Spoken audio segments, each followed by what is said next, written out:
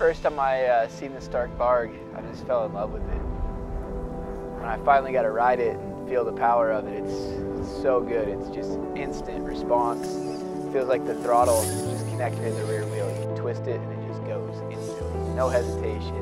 And uh, it's just got so much torque. You just go up to anything slow and get right over it. It's, uh, it's so much fun to ride. It's, it's like nothing that I've ridden